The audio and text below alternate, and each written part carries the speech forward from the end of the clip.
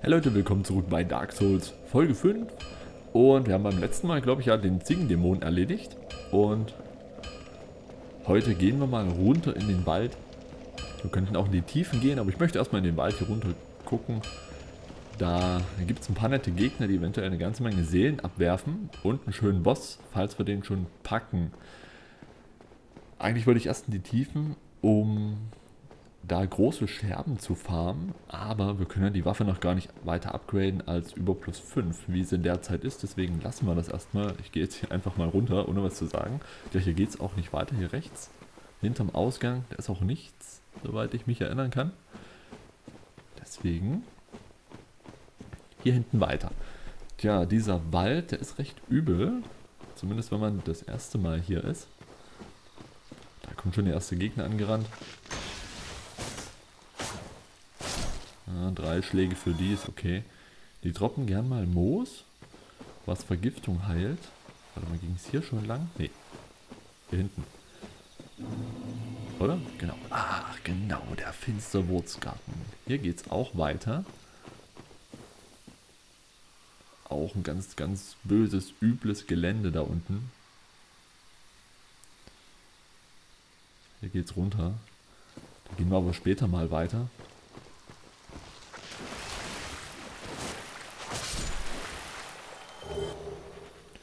Blutroter Moosklumpen.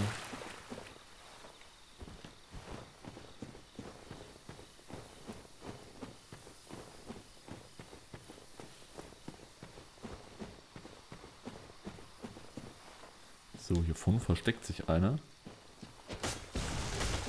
Nein!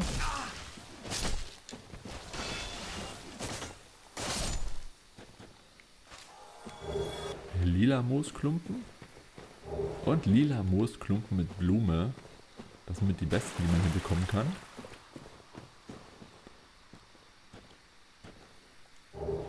Und eine Soldatenseele. Huch, da ich fast da runtergelaufen. Kommt jetzt noch einer? Nö, das war's. Okay.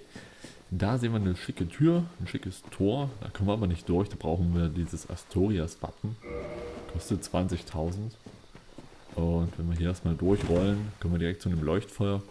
Ziemlich fies versteckt, habe ich bei meinem ersten Durchlauf überhaupt nicht gesehen. Und durfte dann jedes Mal den Weg gehen. Was brauchen wir denn für einen Aufstieg? 4.500 Seelen schon? Ui. Okay. Gut. Hier ist so ein kleiner Durchgang neben der Tür.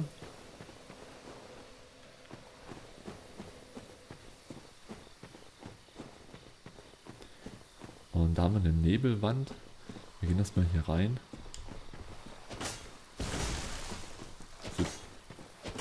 Trifft der denn beim zweiten Schlag nicht? Jetzt. Wenn ich an das Item rangehen würde, würden die ganzen... Ach so, weil die in der Animation feststecken. Deswegen trifft der zweite Schlag nicht. Okay. Wenn ich nämlich an das Item rangehen würde, würden alle drei aus dem Boden springen. Und wenn drei auf eine gleichzeitig einprügeln, dann sind die auch recht übel. Einzeln gehen die auch eine Soldatenseele erhalten. Wunderbar. Was gab die 1000 Seelen? Gut, gehen wir einfach mal hier durch. Passiert erstmal nichts. Kein Boss, aber nochmal ein nettes kleines Gebiet vor einem Boss.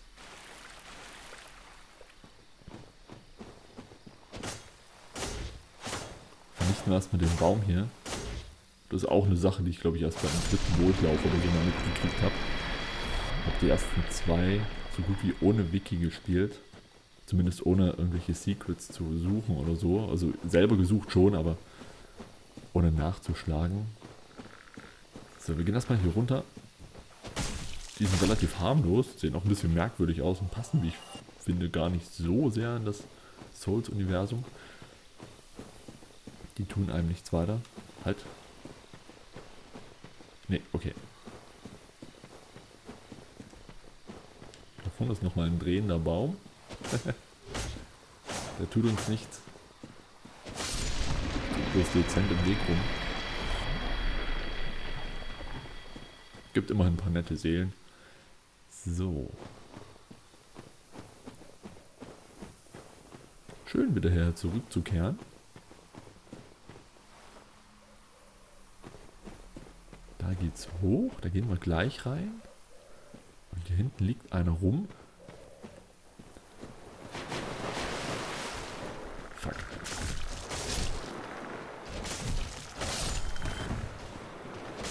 Müssen wir uns ein bisschen vor dem Großen in Acht nehmen. Der da gerade aufgestanden ist. Fuck, fuck, fuck, fuck, fuck. Hier hinten wollte ich natürlich jetzt nicht rein.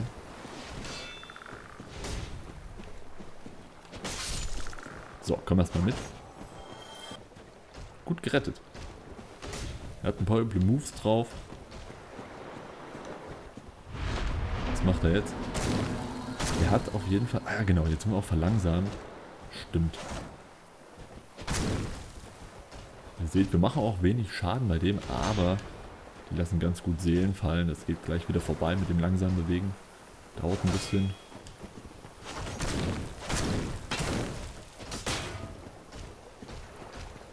Durch zweihändig betteln. Die sind halt selber sehr langsam und da kann man gut um die drumherum 600 Seelen. Droppen auch die Sachen, die die anhaben. Oh, was hat der da? Ach, na toll. okay, gut, dann halt eben nicht. Was hat der? Oh, eine Kriegerseele.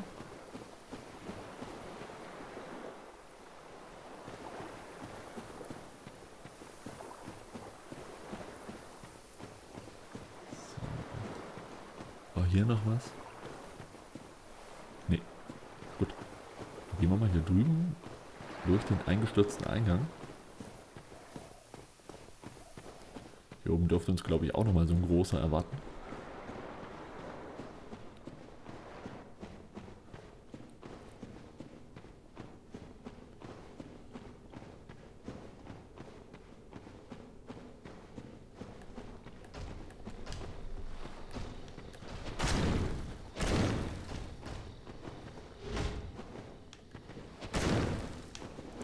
Wenn er das macht, einfach draufhauen. Und hammern. So, und jetzt kommen wir auch zu dem Item ran, was wir vorhin schon mal links gesehen haben. Wir sind nämlich von da hinten gekommen. Und dann dort hinten, irgendwo ist das Leuchtfeuer. Man sieht es da hinten ganz leicht schimmern. Und was haben wir? Wir haben den Wolfsring gefunden.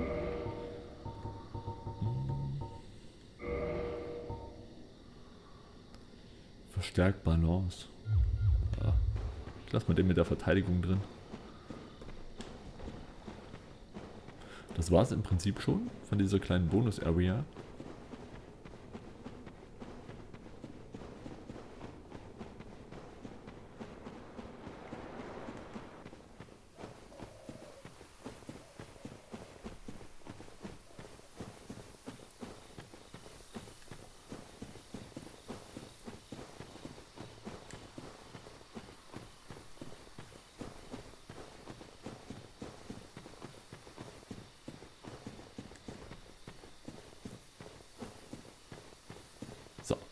Da sind wir wieder. Da oben liegt nämlich schon einer. Gehen wir gleich hin. Zuerst hier hinten nochmal in die kleine Nische rein. Aufpassen, hinter uns kommt jemand raus.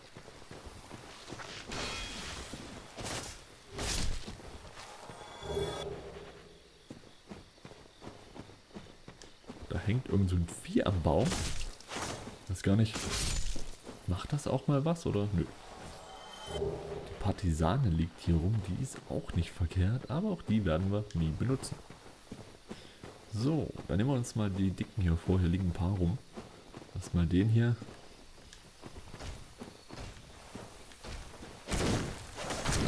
Das Gute ist, wenn man die am Anfang gleich zwei, dreimal gut trifft, dann machen die erstmal ihren Zauber. Wir könnten Ruhe draufhauen und dann sind die schnell kaputt. So, nicht hier einfach mitten durch. Wir gehen mal am Rand links entlang.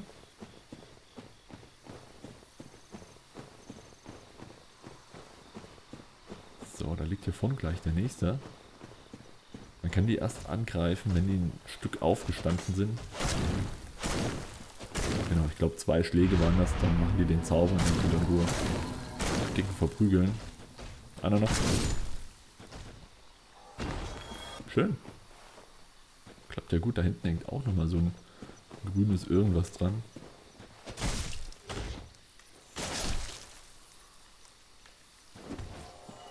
lebt. Ne, lebt nicht mehr. Okay. Gut, dann hier vorne. Da ist nochmal einer. Man könnte hier locker drum rumgehen durch die ganzen großen. Direkt zum Boss. Der ist nämlich hier hinter uns oben. Lässt auch nichts fallen. Na gut. So, jetzt wird es ein bisschen knifflig, denn... Ah, es geht. Dann wir die direkt aus dem Erdboden raushauen. Nein! Oh, Gott sei Dank. Nein! Hier liegen nämlich zwei rum. Fuck.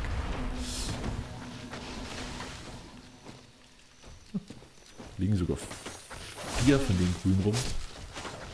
Ich ja total verplant. Okay, ich trinke mal einen Schluck.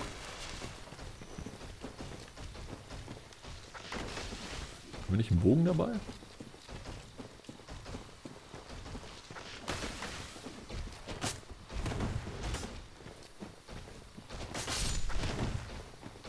Nein, nein, nein, nein. Boah. Fuck. Nein. Das war knapp. Oh, oh, ich häng.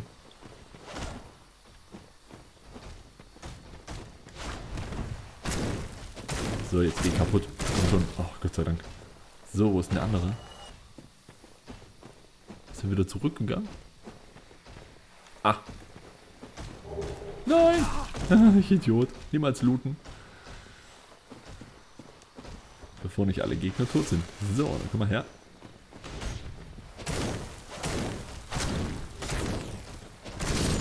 Sehr gut. Auch nichts fallen lassen. Na gut, manchmal lassen die ihr Schwert oder ich glaube sogar das Schild fallen. Moosklumpen und nochmal ein Moosklumpen. Elite Ritterrüstung, die ist super. Die hatte ich nach meinem ersten Durchspielen. Ich glaube, die hatte ich fast bis zum Schluss an. Hm, können wir mal kurz schauen. Aber die ist halt relativ schwer. Also wir bleiben einfach mal bei der Diebesrüstung.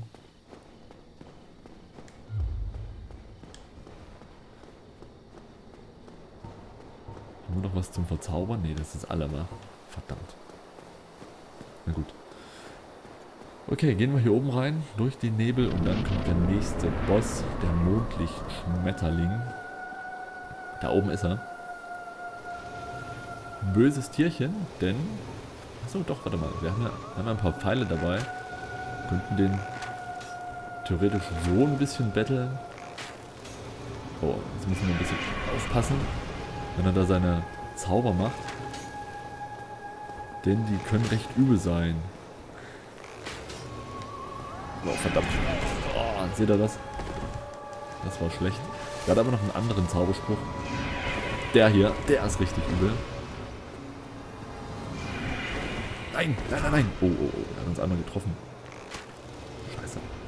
So, und da kommt nämlich alle paar Sekunden dann mal hier vor geflogen und... Scheiße. Ui, das war gut. Komm schon. Nein. Boah, zaubert euch aber eine Menge aus dem Hut. Kommen jetzt mal hier vor. Komm. Der muss nämlich immer mal... Och, das gibt's ja nicht. Immer mal auftanken.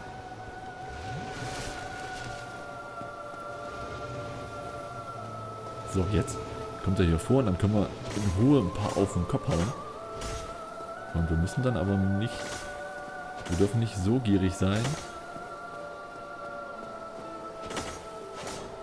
Der zaubert nämlich nochmal was. Und dann müssen wir weg. So, vielleicht kriegen wir jetzt Pfeil und Bogen.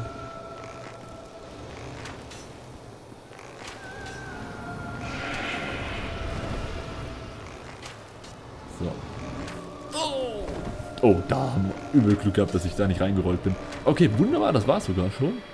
Das ging ja besser als gedacht. Gut, da haben wir die Mondlicht-Schmetterling-Seele erhalten. Sehr gut, ein paar Seelen müssten gleich dazukommen. Einmal Menschlichkeit noch. Ja, 10.000 Seelen, sehr gut. So, dann gehen wir hier hoch.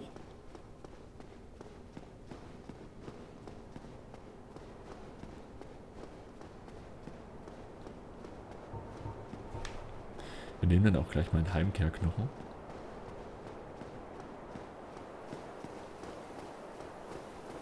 Und was finden wir hier? Hier sehen wir eine alte Schmiede. Wachturm Kellerschlüssel und die göttliche Glut. Und noch eine Heimkehrknochen. Sehr gut. Wir nehmen jetzt einfach mal ein, laufen nicht den ganzen Weg zurück zu dem versteckten Leuchtfeuer, sondern nehmen die Abkürzung durch den Teleport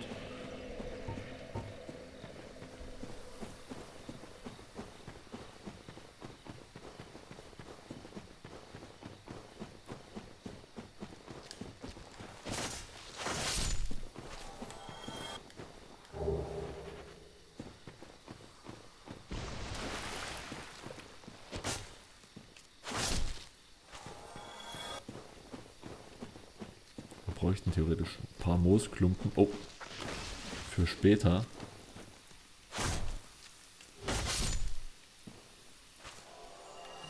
Denn es kommt noch eine Gegend, da sind die relativ wichtig. So, gehen wir in die Tiefen oder gehen wir noch nicht in die Tiefen?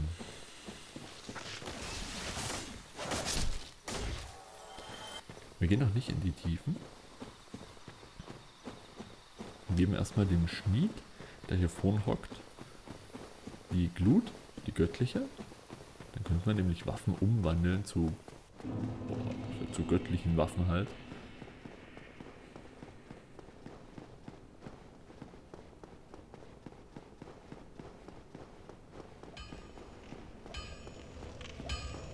Hallo. My, that's a rare ember you have there. I've seen one of those before. It's the ember of a divine blacksmith. Might you consider leaving that with me? I could produce divine weapons with a flame such as that. Klar, hier.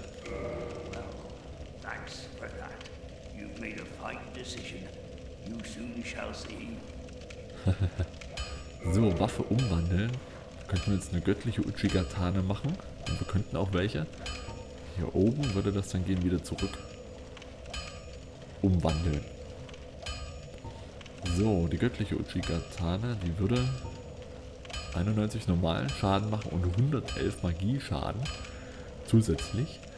Ist natürlich nicht schlecht. Scaled dann allerdings mit Beweglichkeit statt B nur noch mit D. Dafür allerdings mit, ist das Magie rechts unten, mit C dann. Aber wir lassen die jetzt erstmal so wie sie ist. Wir wollen die auf plus 10 bringen.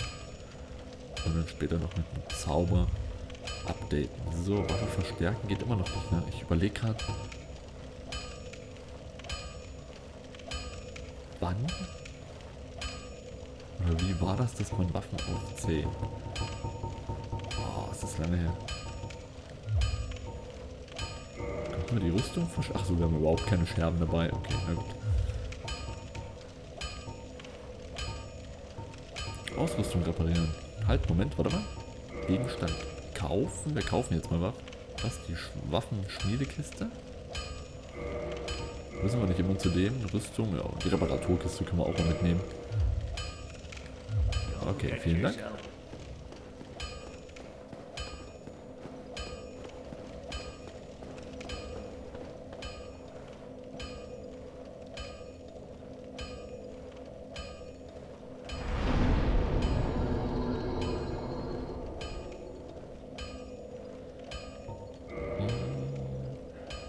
Nochmal als zwei Level könnten wir nochmal aufsteigen.